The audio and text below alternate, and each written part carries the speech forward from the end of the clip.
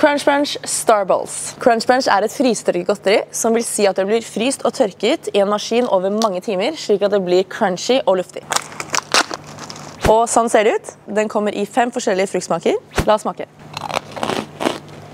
Godteriet har en god smak, og siden det er fem forskjellige smaker, så er det litt variasjon. Konsistensen er litt som marengs, og den er super crunchy og god.